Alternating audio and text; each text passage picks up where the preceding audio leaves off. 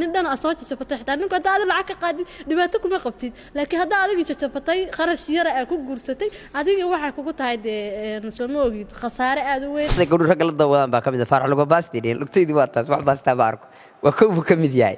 Horta waxaan aaminsanahay fikirkan marocco in hablaha lagu xuuxinayo si ay kharashka u soo yareeyaan wax baxayna ilaa hadda lama hayo. Horta waa numa taageersan raggu xagga aadaani laakiin qodobada ay raggu sheegaaniin kow wax ka mid ah hadda magaxumada gabdhu ragga la dawadaan baa ka mid ah. Faarax luga baastidhin lugtaydii waa taas wax baastaa ma arko. Waa kow buu ka mid yahay. Waxyaalaha cayda ah in mataqana cay lagaaga dhigo. Waxaa kaloo ka mida mataqaanaa inay u arkaaniin mataqaanaa gabdhaha soomaaliya kharashkooda inuu qaali yahay oo ka riqisan yahay.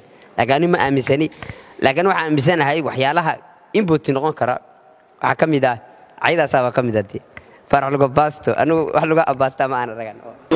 waxay qabaan afkaaro dabcan.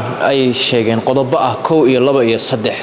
Odayaashana dabcan waa dhegaysanaya nala joogaan. Iyagana markoodan fursadda siinaya qofku inuu wax xor u yahay. Waxaa ka mid a in yacni social media cayda oo kaleeto uu ka hadlayey waxaa ka hadlayay in la arko si guud aan dhaho ragga iyo dumarkaba. Qoysaska soomaalidu ay ku badan yihiin in baraha bulshada laga sheego waxyaabaha ka dhaca guriga lagu soo bandhigayo doorkoodu raggaa qaateen doorkooduna haweenkaa qaateen. Waxaa sidoo kale ay qabaanin in haweenkuba ay iyaguba guursadaan ragga ajaanibta ah.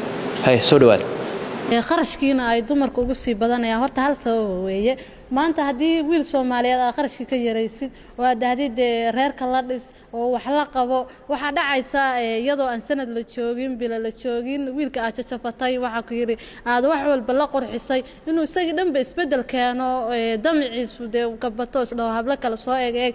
Taasna annagana waxaan u kaliftay inaan kharashkii badino oo dee meeshaan waa inay faa'iida kaaga soo xarooto adigaba intii aan khasaaro horta mid soomaalida adeegsataa wax dhahaan. Hadda haddii dee laysfuro dee horta waxaa dhacdaa hal mid oo qofbaa dhibaatada ku dambaysa kowdhe ninka hadduu damac keeno dee adigii masayr annaga dumarkeena dee annaga taa khasaare noo tahay nin dhan aa soo jajabatay xitaa ninku haddaa adi lacag ka qaadid dhibaato kuma qabtid laakiin haddaa adigii jajabatay kharash yara aa ku guursatay adigii waxay kugu tahay dee soo ma ogid khasaare aada u weyn marka raggii waxaa keenaysa in damacoodi badan yahay oo gabadha maroko markay helaan waxay rabaa in gabar kalena ay soo raadiyaan bismillaah magacaygu waa xamda inba maxaa dooda waan dhegaysanayey qaybna waan ka ahaa.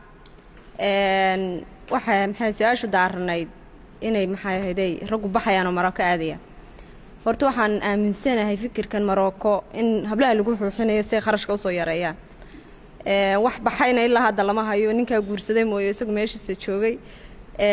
Ta kaloo ah horta meherkan la sheegaya waa isfahan labada qof isku fahmaan. Mana arag anigu dhaqan ahaan iyo soomaali ahaanna reer inta isguursada laba reeroo iska soo doontay gabadho meherkii isku afgaran waayo oo kala kacayna maan arag